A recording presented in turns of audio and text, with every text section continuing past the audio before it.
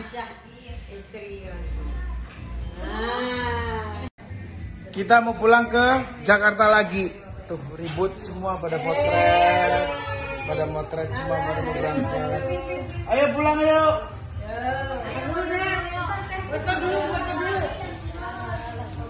Kita mau balik Jakarta. Jakarta macet gak nih? Macet gak? Mudah-mudahan perjalanannya nggak macet karena ada pertemuan nanti jam 4 sore di Lumia.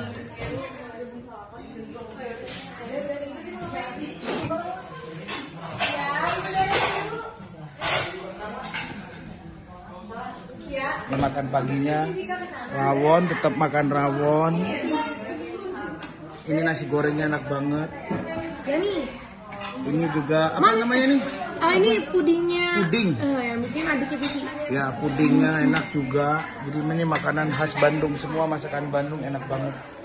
Top, sangat top.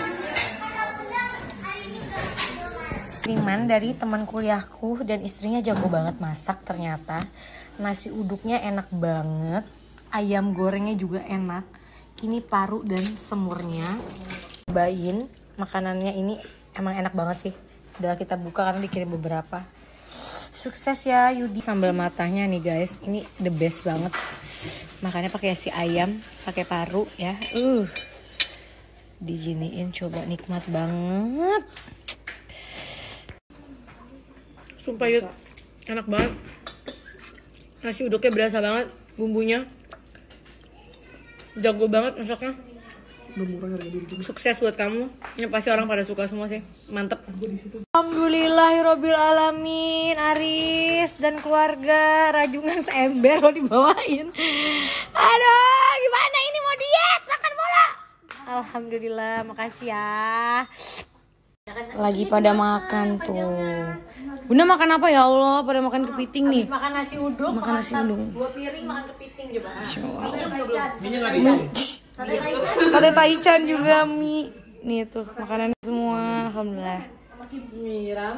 Sekarang aku mau cuci muka dulu. Hmm. Basahin.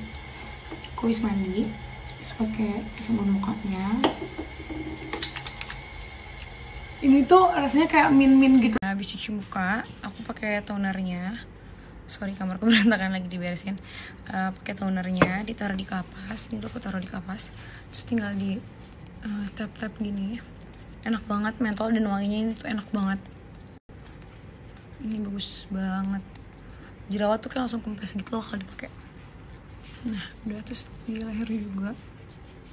Kadang tuh kita kalau keluar-keluar gitu sampai kapasnya kotor cuma ini karena aku nggak keluar jadi nggak kotor setelah itu aku pakai serumnya aku pakainya dua pump aja segini langsung diratain ke seluruh wajah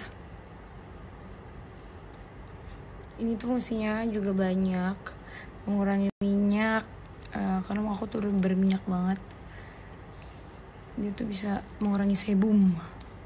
Dan bekas jerawat bisa hilang nih bekas jerawatku udah mulai pudar. Nah udah setelah itu kita diemin. Yang terakhir aku tinggal pakai day creamnya.